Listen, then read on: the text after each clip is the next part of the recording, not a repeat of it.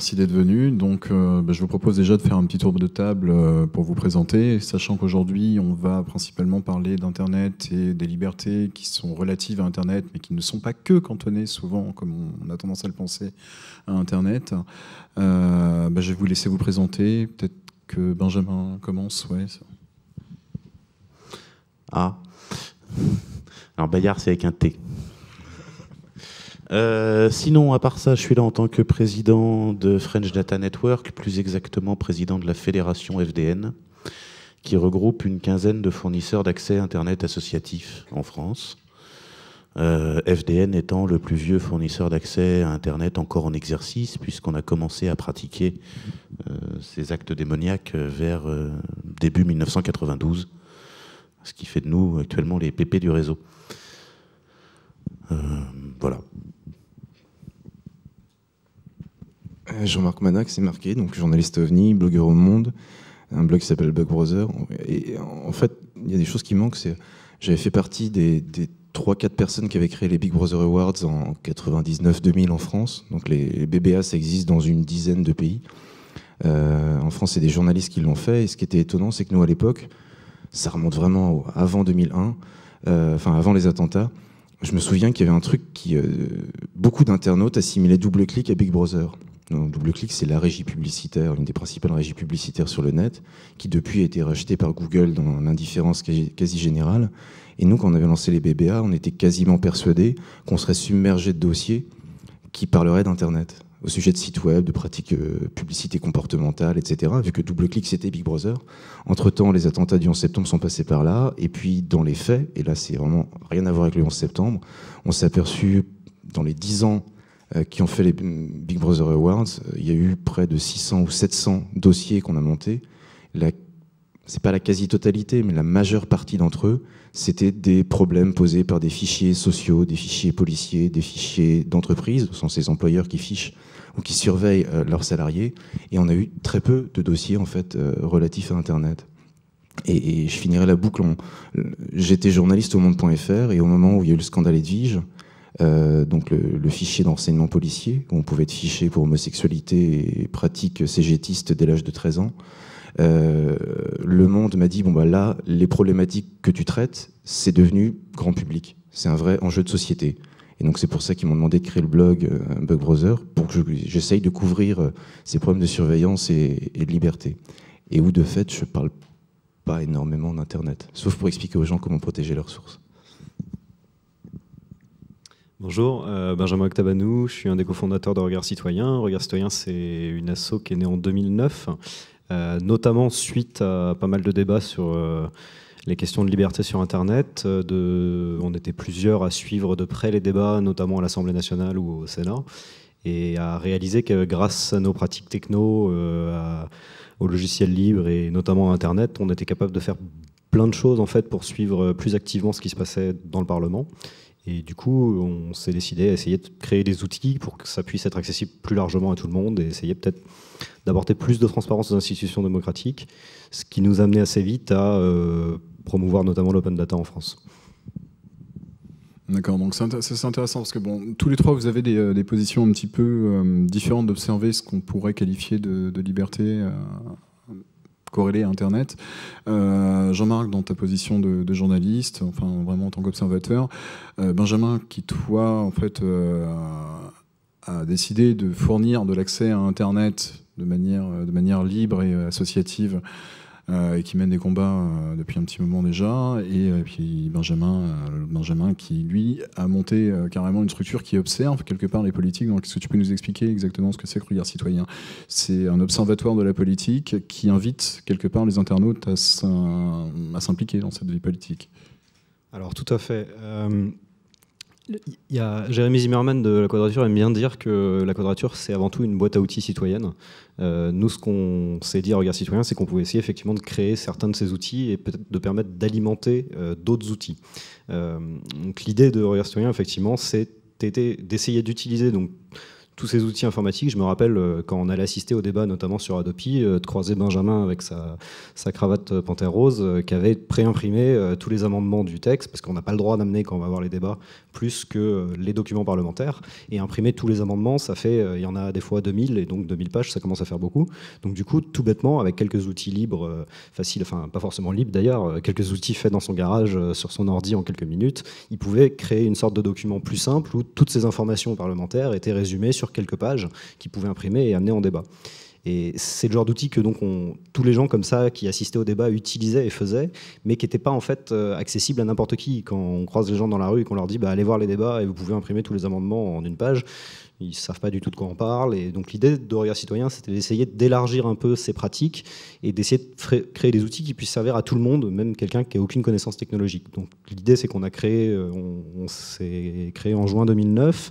On a bossé pendant deux mois euh, sur nos temps personnels. On est une petite dizaine de bénévoles et on a créé nosdéputés.fr, qui est un site donc qui vise à, permettre déjà d'identifier qui est son député, pouvoir voir ce qu'il fait concrètement, avoir une, idée synthétique de quelle est l'activité d'un député à l'Assemblée, ses sujets d'expertise par des nuages de mots-clés, un graphe qui permet de voir est-ce qu'il là il était présent, est-ce qu'il a participé.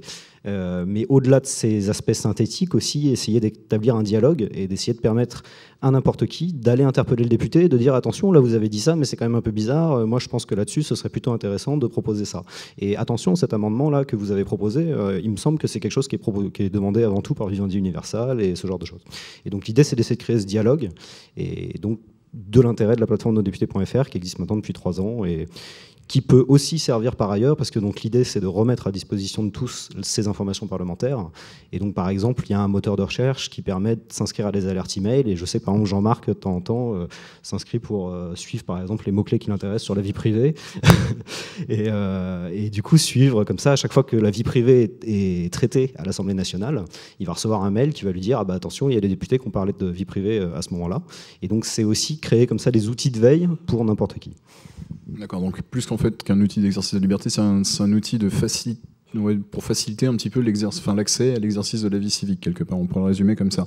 Donc ça, c'est intéressant parce que là, on est en train vraiment de parler d'un outil, euh, outil web hein, euh, qui, qui, permet en fait à tout à chacun de... Euh, d'asseoir une pratique de la démocratie qui ne maîtrise pas forcément, enfin du moins de lui simplifier. Euh, Benjamin, toi, euh, tu as fait un choix qui est un petit peu, euh, qui est un petit peu différent, mais qui est toujours en fait dans la, à classer dans la rubrique, enfin trousse à outils des, libertés sur Internet, qui est de fournir de l'accès à Internet de manière associative et libre. Moi, j'ai jamais fait des choix très compliqués. Je suis pas un garçon avec des questions compliquées. Moi, j'ai des problèmes simples. Quand pendant longtemps, quand j'ai découvert Internet, j'utilisais l'accès de mon école d'ingénieur comme accès. Et puis, euh, une fois que j'étais plus étudiant, il fallait bien que j'en trouve un autre. Et en cherchant, ce que j'ai trouvé de moins débile, c'était euh, d'adhérer chez FDN, qui existait déjà. Euh, parce que ben, c'est très bête, mais des vrais accès Internet à l'époque, il n'y en avait pas des masses. Tu avais CompuServe, je ne sais pas si ça te rappelle des souvenirs, CompuServe, mais ça s'appelle pas vraiment Internet. Tu avais AOL, c'est rigolo aussi, AOL, mais c'est pas vraiment Internet. donc voilà, des gens qui fournissaient pour un prix raisonnable, compatible avec mes finances d'étudiant, euh, un accès Internet avec une adresse IP publique fixe, euh, un nom de domaine associé pour que quand ta machine est connectée, on puisse la pinguer sans connaître l'adresse IP par cœur. Euh, ben, il n'y en avait pas beaucoup des FAI qui faisaient ça. Et après, la question s'est pour moi simplement posée, mais qui était une question qui était d'une bêtise crasse. Faut juste que ça continue. Euh, pourquoi je suis pas passé chez Free quand euh, l'accès téléphonique gratuit entre guillemets est apparu? Ben Juste parce qu'ils fournissaient pas les bons services. Euh, pourquoi est-ce que je suis pas passé chez Machin ou chez Truc quand ils ont sorti de la DSL ben Parce qu'ils fournissaient pas tout à fait les services qui allaient avec. Et du coup, on a cherché comment faire pour que FDN continue à fournir ces services-là. En fait, il faut comprendre, c'est la façon d'être. Enfin, c'est ça qu'est le réseau Internet. Internet est un, agglomérat de réseaux sur lequel chacun fabrique son petit bout. Il euh, faut imaginer ça comme un continent où chacun a fabriqué le petit bout euh, sur lequel il habite et sur lequel il passe pour aller voir ses voisins. Et nous, on a juste fabriqué notre petit bout du radeau et on l'a gardé. Et on tâche de le garder depuis des années. Et maintenant qu'il commence à devenir un peu trop grand pour être géré que par des bénévoles, soit on se professionnalise, et c'est pas un choix qu'on a fait ces 20 dernières années, il n'y a pas de raison que ça change, soit on en fait pousser d'autres. Et donc on explique aux gens comment c'est fabriqué, comment ça marche, euh, comment monter un fournisseur d'accès associatif euh, dans ton bled euh, en quelques jours, comment apprendre à le faire, quelles sont les techniques qu'il faut apprendre, etc. etc. En termes de... En fait, on s'est jamais posé la question en termes de liberté, ou en tout cas pas au début. on faisait comme ça parce que personne ne le faisait. FDN a été créé parce que personne faisait fournisseur d'accès Internet. Fournisseur d'accès Internet en 1992, c'est pas identifié comme étant un métier. Donc on a créé, euh, les gens qui ont créé FDN l'ont fait simplement parce qu'il n'y avait pas de fournisseur d'accès Internet en France. Euh, et puis après, on a continué simplement parce que les autres ne faisaient pas comme il faut. Et on, on ne s'est posé la question en termes de défense des libertés que plus tard. D'accord.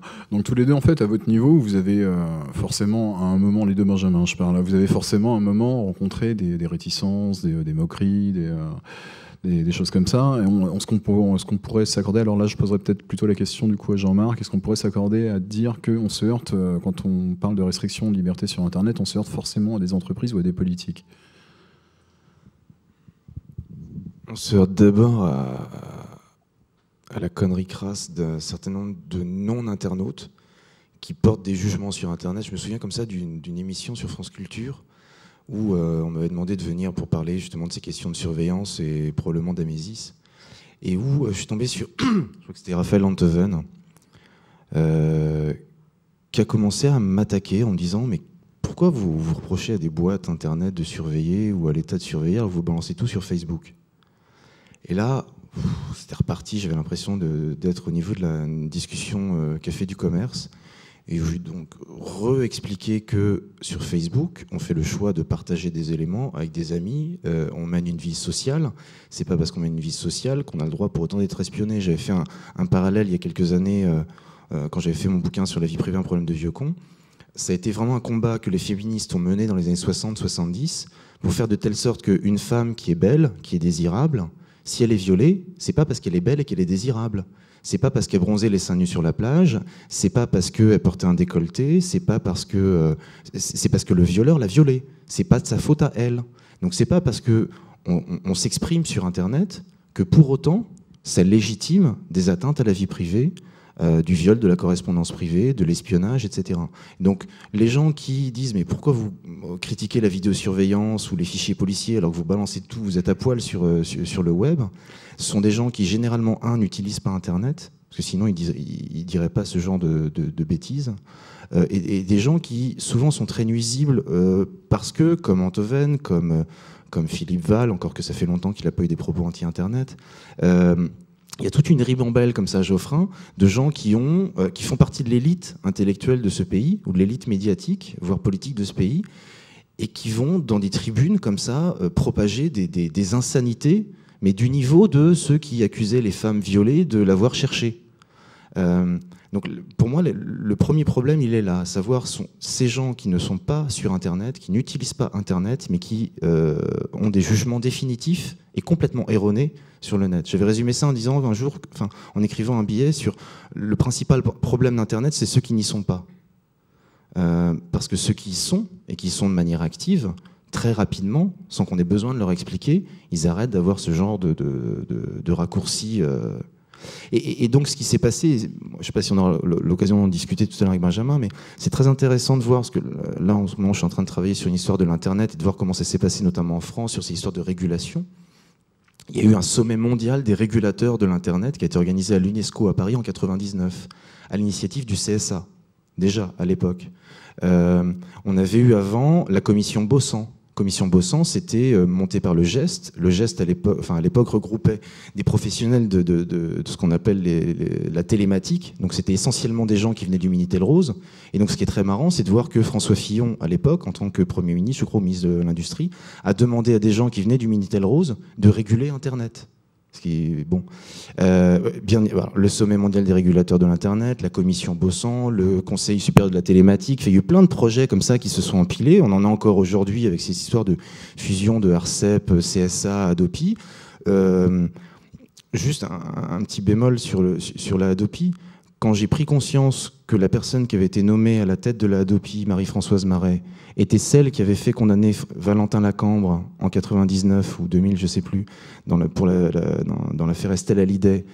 80, non, c'était pas 80, 80, 99. Quelqu'un Wikipédia?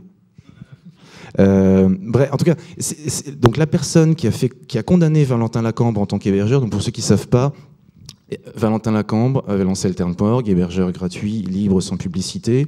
Il y avait entre 36 000 et 46 000 sites web, je ne sais plus. Sur ces 50 000 sites web, il y en avait un qui avait recopié une photo qui était parue dans Voici. Où on voyait Estelle Hallyday, les seins nus à 17 ans. Voici avait été condamné. L'internaute avait fait, bah, comme beaucoup, il avait fait un scan, il avait mis sur son site web. L'avocat d'Estelle Hallyday, plutôt que de porter plainte contre l'internaute qui avait mis ça sur le site, euh, il a porté plainte contre l'hébergeur. Et donc Marie-Françoise Marais a dit que, bah oui, monsieur Valentin Lacambre, vous tout seul avec votre boîte unipersonnelle, vous devez surveiller l'intégralité de tout ce que publient les 50 000 sites web que vous hébergez. Valentin, il n'a qu'une seule chose à faire, c'est il a fermé, il a censuré les 46 000 sites web. Ça a été la plus grande censure de toute l'histoire de France. Et donc c'est cette personne-là, Marie-Françoise Marais, qui a été nommée à la tête de la ADOPI. Donc on a comme ça des usual suspects de gens qui, pour des raisons diverses et variées, ont pris le net en grippe et veulent le réguler.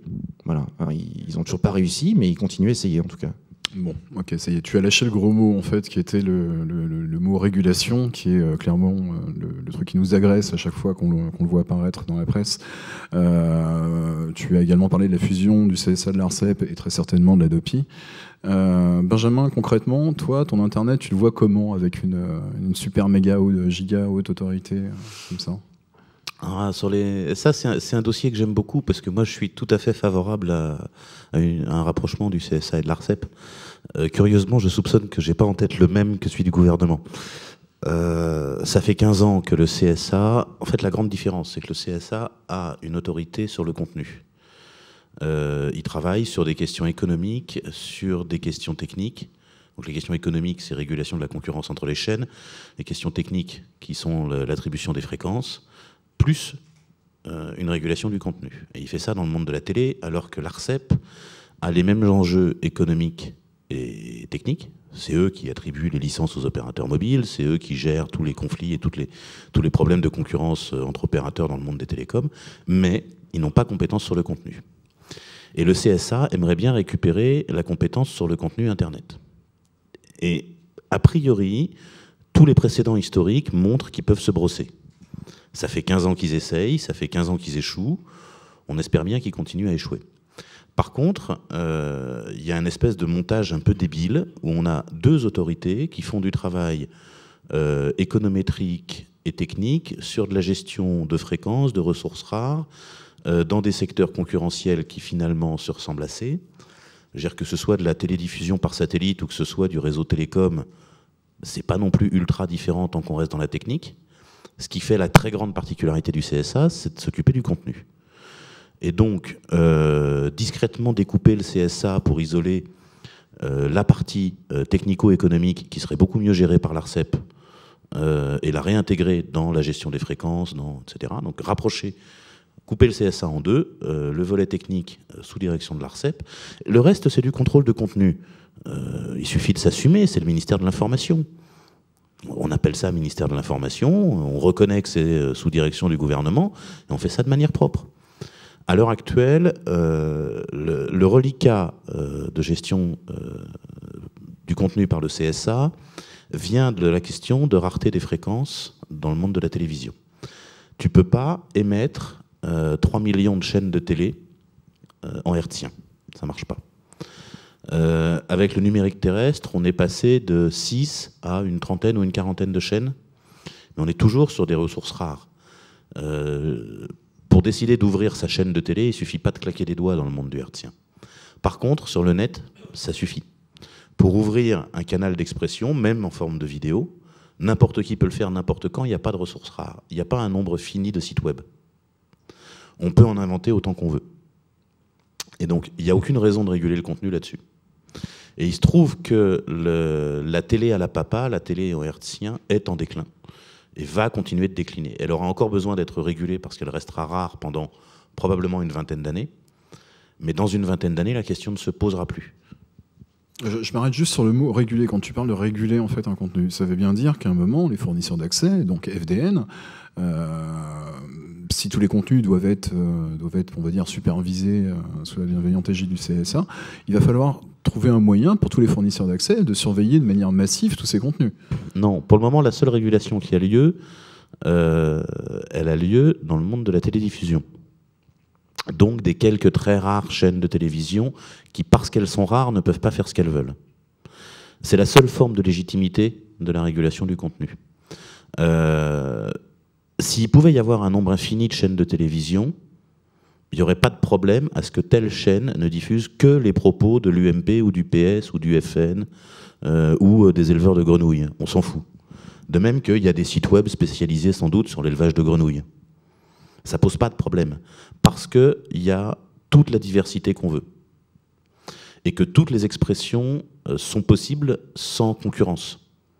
C'est-à-dire c'est pas parce que moi je tiens un blog que j'empêche quelqu'un d'en tenir un. Or, à partir du moment où il y a rareté des fréquences pour émettre le contenu télévisuel, euh, il n'y a que quelques chaînes qui sont possibles, et il faut bien choisir lesquelles. Et puisque euh, l'utopie qui est de croire que l'économie va tout réguler, ça ne marche pas, euh, il faut bien qu'à un moment, la puissance publique dise voilà comment nous, on entend que ça marche. On veut que tous les partis puissent s'exprimer, sauf ceux qu'on n'aime pas. Donc, voilà, on censure un certain nombre de partis politiques en France. on veut qu'il y ait tel type de culture et pas tel autre. on estime que telle culture est meilleure, etc. C'est un pur choix politique. Euh, à partir du moment où il n'y a plus de rareté de la fréquence, donc dès qu'on bascule dans le monde Internet, il n'y a plus aucune raison de réguler ça, puisqu'il n'y a pas concurrence. Euh, comment on dit On parle d'économie des biens non rivaux, je crois, dans ces cas-là. Euh, le fait d'ouvrir un site web n'empêche pas le site web d'à côté de fonctionner. Et ça, c'est quelque chose de fondamental. Alors que quand tu ouvres une chaîne de télévision, tu bouffes un canal et il n'y en a pas beaucoup. Donc c'est extrêmement différent. Et donc moi, je suis tout à fait partisan d'un rapprochement entre le CSA et l'ARCEP qui consiste à bien découper le CSA pour ne lui laisser que la régulation du contenu et qui ne concerne bien évidemment que la télévision hertzienne, donc qu'il arrête de se mêler de ce qui se passe sur le satellite, il n'y a pas de limite en nombre de chaînes sur le satellite, qu'il arrête de se mêler de ce qui se passe sur la DSL et sur le câble, il n'y a pas de limite en nombre de chaînes ni sur la DSL ni sur le câble, et donc qu'il ne se mêle que de régulation du contenu des chaînes hertziennes, point, trait. Le reste, c'est des télécoms. Alors tout ça c'est bien sympa, mais on a un invité mystère en fait dans cette fusion qui est l'Adopi. Euh, je vais te poser plutôt la question à Jean-Marc. C'est quoi pour toi en fait le risque de voir intégrer l'Adopi euh, au CSA et à l'ARCEP ah, ça, c'est juste qu'ils vont traiter le problème dans l'autre sens. Je vais te faire un embryon de réponse. Ça, c'était la façon dont moi je le vois. La façon dont le voit le gouvernement, c'est d'étendre le CSA pour y intégrer l'ARCEP donc ils voient ça à l'envers, euh, en disant que finalement les télécoms c'est jamais qu'une télévision comme les autres, ce qui est très curieux comme mode de raisonnement, et que donc le CSA va avoir un pouvoir de régulation de contenu sur Internet. Et où du coup, intégrer Adopi c'est vachement simple, puisque pour réguler le contenu il faut tout surveiller, quitte à tout surveiller, on peut faire Adopi dans la foulée, c'est bien pareil. Si on regarde les précédentes euh, tentatives de régulation d'Internet, que ce soit au niveau gouvernemental ou en passant par la, justice, on a vu le procès Yahoo euh, qui visait à interdire aux internautes français de pouvoir accéder à des ventes aux enchères d'objets nazis. On a eu le procès Arg où donc les fournisseurs d'accès Internet français doivent bloquer l'accès à Arg, qui est donc un site négationniste, la plateforme de diffusion des, des propos négationnistes. Donc qu'est-ce qu'a fait Arg? Ils ont changé de nom de domaine voilà, c'est très compliqué. On a eu le cas euh, l'année dernière avec euh, Copwatch. Donc quand Copwatch a été interdit, quand on a ordonné aux fournisseurs d'accès Internet de filtrer l'accès à Copwatch, ça a eu deux effets. Il y a eu une trentaine de miroirs de Copwatch qui ont été faits et Copwatch a changé d'URL. Donc là, pour ordonner aux fournisseurs d'accès Internet de censurer la nouvelle URL de Copwatch, il faudrait refaire un procès. Donc c'est un truc, c'est... Voilà les voleurs ont toujours euh, un temps d'avance. Et en l'espèce, on est tous des voleurs sur Internet. Enfin, petit aparté sur tous des voleurs sur Internet. Un, je vous conseille, pour ceux qui ne l'ont pas encore fait, de lire Je suis un voleur de Laurent Chemla, qui explique très bien euh, d'où vient Internet et comment ça fonctionne. Deux, quand moi je donnais des cours à des étudiants en droit qui allaient devenir les futurs juristes de l'Internet ou les futurs avocats de l'Internet, je commençais systématiquement mon cours en demandant aux gens qui étaient dans la salle de euh, lever le doigt ceux qui n'ont jamais utilisé un logiciel contrefait. Et il n'y avait jamais personne qui levait la doigt. Et donc je dis, bah voilà, bienvenue, bienvenue sur Internet. C'est un espace où effectivement on a tous été à un moment ou à un autre en marge de la légalité telle que dans le mid-space, dans l'espace physique, euh, la légalité se fait. Euh, on a quoi? On a la LOPSI qui veut filtrer l'accès euh, aux sites pédophiles.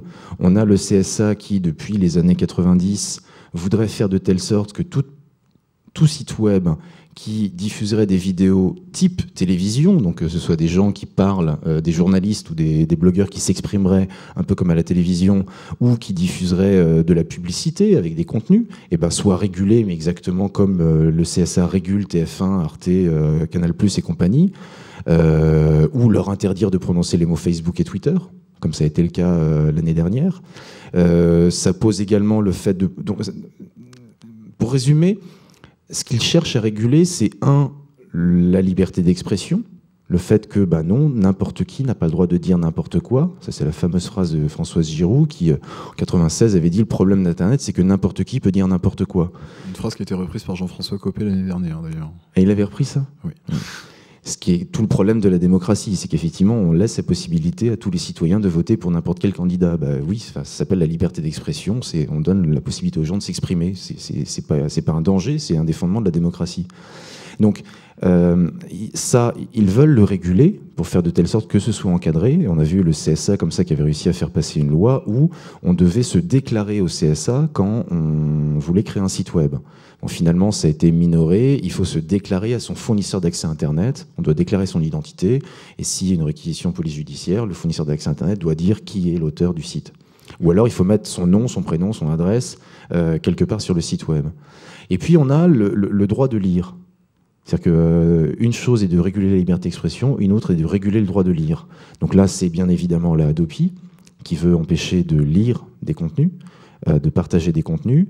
Euh, on en revient encore au site pédonazi, mais les différentes expériences de censure ou de filtrage de l'Internet qui ont eu lieu en Australie, au Danemark, etc., montrent que bah, dans la liste, parce que bien évidemment, généralement, la liste des sites censurés fuite sur Internet, sans, même forcément passer pour Wikileaks, par Wikileaks. Et quand on regarde le détail de ces sites censurés, un, bah, c'est un super annuaire pour les pédophiles, parce qu'il y a plein de sites pédophiles qui sont là, donc on n'a pas besoin de les chercher, ils sont dans la liste. Et deux, euh, on trouve aussi un dentiste de l'Arkansas, euh, bien évidemment les sites web qui expliquent comment contourner le filtrage ou la surveillance, bien évidemment les sites web des organisations politiques ou des ONG qui se battent contre le filtrage euh, et, la surveillance. Et puis on a vraiment ouais, on, a une censure, mais digne d'un collège protestant, enfin d'une école protestante dans les années 50, ou d'une prison aujourd'hui, quand tu es une bibliothèque en prison, tu n'as pas le droit à tous les livres. donc c'est ça qu'ils veulent réguler c'est empêcher les gens de s'exprimer et de lire. D'accord. Benjamin, toi, euh, tu es un observateur de la vie politique euh, depuis, euh, depuis pas mal de temps. Tu as vécu des moments grandioses, notamment pendant les débats d'OPI, quand tu rentrais à l'Assemblée nationale pour prendre des notes à la main dans l'Assemblée nationale et pouvoir restituer ça sur nos députés. La, les réactions des députés, en fait, la première, ça a été quoi quand ils ont découvert le site nosdéputés.fr alors à l'époque, en fait, les réactions étaient plutôt bonnes. Euh, et elles sont, on a toujours eu des relations qui sont restées très cordiales avec les députés dans leur grande majorité. Euh, je ne vais pas ignorer et cacher que genre ça arrive qu'un matin euh, je me fasse réveiller au téléphone par un député et que pendant trois quarts d'heure on se fasse insulter au téléphone en nous expliquant qu'on n'a aucune légitimité pour observer comme ça le travail des élus et que eux ils sont élus et que c'est c'est pas à nous de faire, c'est pas à n'importe qui de faire n'importe quoi, exactement. Euh, ce qui n'empêche pas que euh, les relations restent donc euh, très bonnes avec le reste des députés et que c'est des réactions en général épidermiques. On a eu récemment l'histoire d'un ministre, ministre chargé des relations avec le Parlement, qui a profité des universités d'été pour du PS pour euh, ressortir une, quelque chose qui lui tenait à cœur visiblement depuis longtemps. Alors, selon la fin d'un article du Monde, ce serait plus lié à une euh, jalousie personnelle envers un autre élu euh, des Landes qui est son concurrent personnel et qui a eu régulièrement les honneurs de Sud-Ouest comme étant le, député le mieux classé selon Sud-Ouest en utilisant les données de nos députés.fr. Et ce qui pourrait expliquer peut-être la rancœur du ministre Vidalis à l'époque vis-à-vis de nos députés.fr, mais donc qui a profité de ces universités d'été pour dire que nos députés avait un rôle euh, dangereux, voire pernicieux sur l'activité parlementaire, et que, euh, alors c'est un peu fou parce qu'on a pu dans le passé nous accuser d'antiparlementarisme alors que je pense qu'au contraire euh, l'un des objectifs de nos députés c'est au contraire de revaloriser le travail parlementaire et de, valoriser le, travail de fond qui est effectué par les parlementaires quand ils débattent de sujets. Euh, et donc c'est un peu surprenant d'entendre un ministre nous expliquer que les députés en fait sont des tricheurs et que les députés essayent de parler pour ne rien dire juste pour euh, alimenter les compteurs qui sont sur nos députés.fr et qui en fait parasite les débats. Enfin, on, a, un ministre chargé des relations avec le Parlement qui, d'une certaine façon, dit que les députés euh, feraient mieux de ne pas parler. Euh, mais encore une fois, c'est une réaction épidermique. On a eu l'occasion d'en discuter avec lui. On est tombé plus ou moins d'accord sur le fait qu'on n'était pas d'accord. Euh, puisque en pratique, en fait, et c'est l'intérêt justement de développer ce genre de site, c'est qu'on dispose d'informations précises. Euh, on peut faire ce qu'on appelle aujourd'hui, qui est un mot à la mode, euh, le fact-checking. On a accès à des données, on peut vérifier concrètement ce que les... quand quelqu'un dit que les députés parlent plus qu'avant en commission depuis la rentrée parlementaire. Bah, nous, on va dans notre base de données, on fait quelques requêtes SQL et puis on regarde et, bah c'est faux. il se trouve qu'il parle moins. Euh, pareil pour les questions écrites. Soi-disant, il poserait plus de questions écrites pour alimenter les compteurs. Et en pratique, il y a effectivement un député qui a posé 550 questions écrites sur 5000 déposées par 500 députés. Mais c'est un cas particulier, comme il y en a toujours eu. Et euh, au final, au total, il y en a en fait moins qu'avant. Donc, euh, c'est effectivement, Internet, c'est quelque chose qui. Les gens regardent ça et se font des préjugés, des idées conçues, et en général se mettent à ensuite sorte faire d'avoir des messages euh, visant à réguler, à encadrer, à essayer d'empêcher certaines choses d'apparaître. Mais au final, euh, les choses se font et.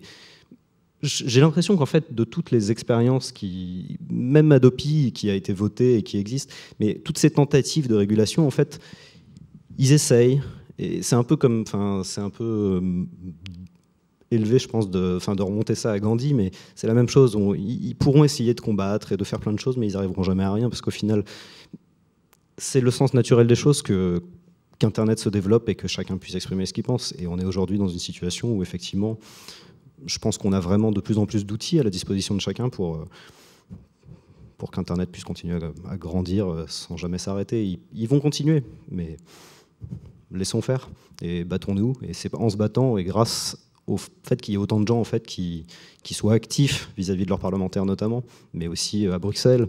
Euh, enfin, je veux dire, la, grande victoire d'ACTA euh, de la Quadrature, c'était magnifique. Et maintenant, il faut qu'on passe à l'étape suivante, qu'on arrête de se battre contre et qu'on se batte pour. Il y, a, plusieurs moyens en fait de, porter atteinte euh, aux libertés des internautes sur Internet. Donc il y a la, il y a la censure, hein, gratuite, il y a, euh, le, blocage d'un protocole, il y a euh, certains, diront jusqu'à l'Adopi. Benjamin, est-ce que tu pourrais expliquer les, différents degrés d'atteinte aux libertés sur Internet en fonction de ce qu'un fournisseur d'accès pourrait te faire, par exemple? Fournisseur d'accès, c'est une bonne position pour pouvoir faire à peu près ce qu'on veut. Euh, ça, c'est la raison principale pour laquelle, euh, en 1997, quand la question s'est posée, j'ai décidé que moi, je garderais mon accès Internet chez FDN et que si personne voulait être président du merdier, je le serais. C'était euh, vraiment la, question clé. Il se trouve que le fournisseur d'accès Internet est le seul intermédiaire et est un intermédiaire obligatoire entre toi et ta vie numérique. Euh, quand tu vas sur Wikipédia lire euh, telle fiche, tu ne vois que ce que ton fournisseur d'accès veut bien te montrer.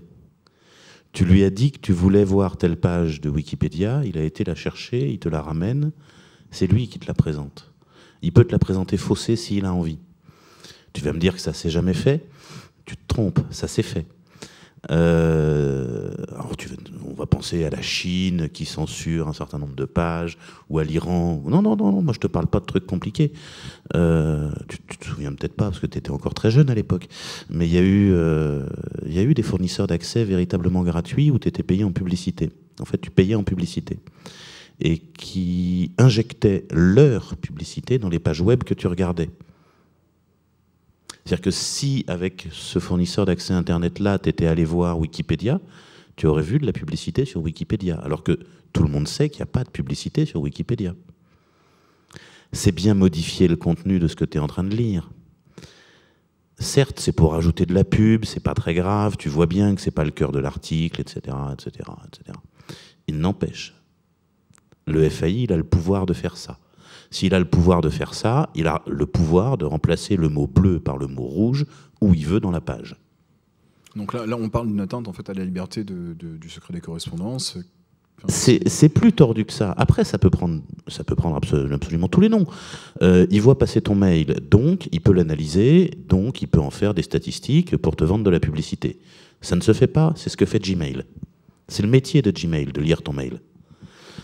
Tout ça se fait. Le, le, nom que ça va prendre quand tu vas vouloir le qualifier légalement va changer à chaque fois. Remplacer le mot bleu par le mot rouge à la une de l'IB, je ne sais pas ce que c'est en fait, ça porte atteinte à ta liberté d'accès à l'information qui est garantie par l'article 11 de la Déclaration des droits de l'homme. Euh, de ton point de vue. Du point de vue de l'IB, ça porte atteinte à leur liberté d'expression, puisque ça modifie leur expression. Euh, quand ça touche à ton courrier, ça va porter atteinte à la correspondance privée. Euh, si ça modifie le site web d'un commerçant pour te faire croire que ses offres sont pas intéressantes, ça va porter atteinte à la liberté du commerce. Euh, c'est très compliqué de dire à quoi ça porte atteinte. En fait, le FAI, le fournisseur d'accès Internet, l'intermédiaire technique, il est en coupure entre toi et la réalité. Si tu ne peux pas lui faire confiance, tu ne peux pas faire confiance à ce que tu vois.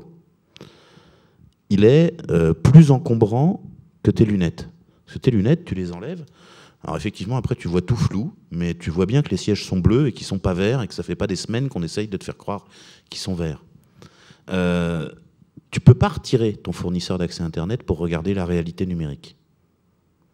S'il te ment, et s'il te ment en continu et avec la belle systématique dont sont capables les ordinateurs, tu verras jamais qu'il te ment. Et c'est ça qui est dangereux.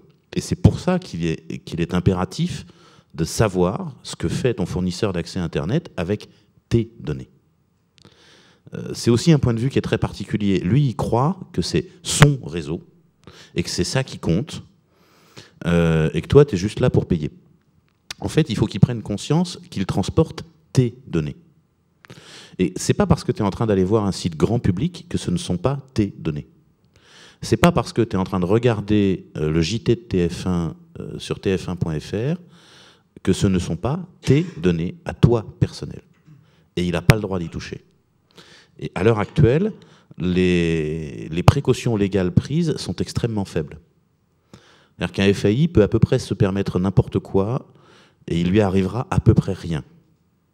Et tous les FAI se permettent très régulièrement des entorses assez graves au principe de neutralité euh, et il leur arrive jamais rien. Euh, des FAI qui. Oh, des, des, cas très classiques. Euh, L'hébergeur qui décide de bloquer un site web sans décision de justice. Juste parce que euh, un ayant droit lui a envoyé une lettre menaçante d'avocat. Il fait Ah putain, j'ai pas envie de me prendre un procès, je vais couper le truc parce que de toute façon c'est un petit site de merde, eux ils me feront pas un procès. Voilà, ça c'est une atteinte franche, brutale à la liberté d'expression, c'est de la censure. Il se passera rien. Pour avoir censuré le site sans décision de justice, il va rien se passer. Le seul droit qu'on peut invoquer, c'est le droit du commerce. Il faudra peut-être qu'il rembourse l'abonnement de l'hébergement. C'est tout. Donc en fait, euh, si l'hébergeur de l'IB a envie de censurer l'IB, le plus gros risque financier qu'ils prennent, c'est de ne pas se faire payer son abonnement.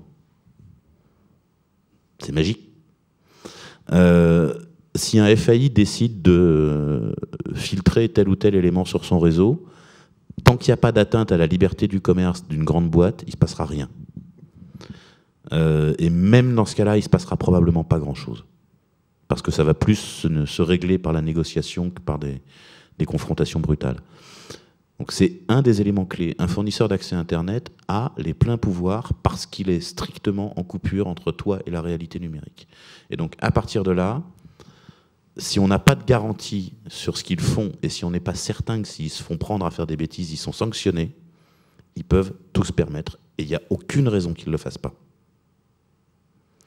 Et c'est un des éléments clés. C'est pour ça que pour moi, dans tous les débats autour des libertés sur Internet, le point central en fait, des libertés dans le monde du numérique, le point central revient toujours à l'absolue neutralité des intermédiaires techniques. Et c'est bien une neutralité dans les deux sens. C'est-à-dire que l'hébergeur, il est là pour héberger, il n'est pas là pour juger du contenu. Le fournisseur d'accès, il est là pour transporter les données, il n'est pas là pour juger du contenu. Et du coup, dans un cas comme dans l'autre, ils ne sont pas responsables du contenu. Mais pour n'être pas responsable du contenu, il faut qu'ils n'en aient pas jugé. Il faut aussi éventuellement, tu veux dire si je me trompe, qu'ils n'en produisent pas. Non, ça c'est ça c'est typique du conflit d'intérêts. À partir du moment où tu te mets à produire ton propre contenu, tu peux avoir envie de défavoriser celui des autres. Ça c'est une tentation, mais des tentations il y en a mille, il y en a déjà mille. Euh, c'en est qu'une de plus, et elle n'est pas très grave. C'est une tentation ou c'est une pratique? Oh, c'est une pratique. Mais euh, toutes les tentations qui mènent à des trucs qui rapportent de l'argent se pratiquent. Tu, tu peux être plus précis avec un exemple?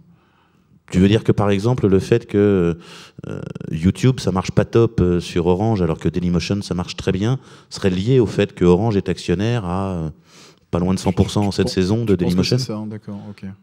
Bon, il y a peut-être un lien. On peut pas exclure qu'il y ait un lien.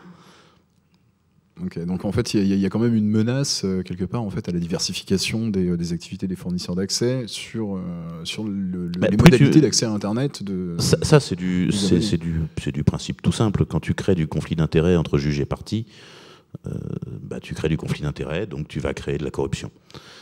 Ça, ça fonctionne très mécaniquement, ça. C'est un peu comme quand le mec qui est chargé de juger les médicaments, c'est le même que celui qui les vend. Ça se termine pas bien, parce qu'il a tendance à juger que les siens sont très bien. Les, partisans en fait d'une fusion, euh, d'une fusion entre l'ARCEP, l'ADOPI et le CSA. euh, mettent en avant que c'est déjà le cas aux États-Unis et que c'est déjà le cas en Angleterre. Il y a pourtant en fait une différence euh, assez, notable, c'est que un, d'une part, la conception des libertés individuelles dans les pays anglo-saxons n'est pas la même que la nôtre, et que deux, ils n'ont pas le même nombre de fournisseurs d'accès. Qu'est-ce que tu en penses de ça? C'est très particulier comme lecture. Il y a moins de fournisseurs d'accès aux États-Unis qu'en France. Il- Je crois qu'il y en a beaucoup plus en fait. Non, ça c'est une erreur de lecture. En fait, tu as beaucoup de, de fournisseurs d'accès aux États-Unis, mais en général, tu en as dans une zone géographique donnée. C'est-à-dire que quand tu habites à telle adresse, tu as que deux. Tu as le mec qui fait de la DSL et tu as le mec qui fait du câble, et puis c'est tout. Alors effectivement, tu as 200 fournisseurs d'accès parce que d'une ville à l'autre, c'est pas le même. Ah oui, mais enfin, si le seul moyen d'avoir un accès propre, c'est de déménager, ça fait, ça fait léger quand même.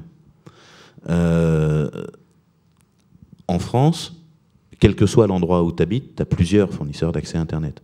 Tu as effectivement le mec qui fait, qui fait du câble et puis tu as les 5-6 euh, qui font de la DSL. C'est pas pareil. Hmm? C'est pas le cas pour la fibre, pas encore. Euh, mais des, ce sont de vrais problèmes.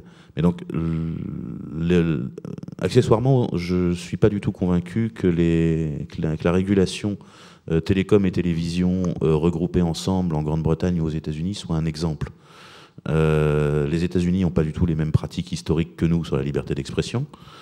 Euh, D'un autre côté, ça fait un petit moment qu'ils ont commencé à rogner. Euh, effectivement, c'est toujours bien protégé par la Constitution, mais ça l'est plus dans les entreprises privées. Euh, pour moi, c'est pas un exemple suffisant. C'est-à-dire que euh, les, les- les Britanniques ont décidé de faire comme ça, oui, bon. Ils ont décidé de privatiser les chemins de fer et depuis les, les trains roulent plus. Pas sûr que ce soit un exemple à suivre. Alors, Il y, a- il y a un autre les- pays qui est, qui est- qui est cité en exemple, peut-être pas pour les mêmes raisons, c'est l'Italie, où on sait que le- l'ancien président Silvio Berlusconi euh, avait quelques petits intérêts en fait dans, le, dans les médias télévisés. Non, je vois pas. Voilà. Euh, on tend à dire en France qu'on est un petit peu en train de retomber dans le, dans, dans le travers italien, hein, de, de- de s'orienter vers une, vers une fusion un petit peu à l'italienne où euh, il est bien question de, de réguler ce que les internautes vont produire pour mettre sur Internet. Quand on parle de régulation des contenus sur Internet, on parle bien de ce que, vont- ce que font les internautes, a priori. Euh, Jean-Marc, toi, tu as, observé euh, Je après vais me permettre- le 11 septembre. les-. Toute petite coupure. J'ai horreur du mot internaute parce qu'il veut rien dire. Ah, mais c'est parce qu'il veut rien dire, justement, qu'il est. C'est pas des internautes, c'est des gens, ou C'est des des gens. citoyens, selon le point de vue que tu en as. Mais euh, quand tu t'exprimes avec une machine à écrire ou avec un stylographe euh, ou avec un ordinateur et que tu diffuses avec une machine à renéoter ou avec euh, une presse typographique ou avec euh, un réseau internet, dans les deux cas, tu quelqu'un qui s'exprime. Dans tous les cas, tu es quelqu'un qui s'exprime. Et je crois pas que le choix technique de ton mode d'expression joue un rôle clé dans la compréhension. Tant que tu dis internaute, c'est-à-dire tant que tu utilises le mot internaute, tu fais croire que ça ne concerne que 2 ou 3% de la population, qui sont euh, les euh, technophiles éclairés, euh, euh, barbus en t-shirt, etc. À partir du moment où tu parles de l'expression libre des citoyens, tu parles exactement de la même chose, mais cette fois-ci avec les bons termes.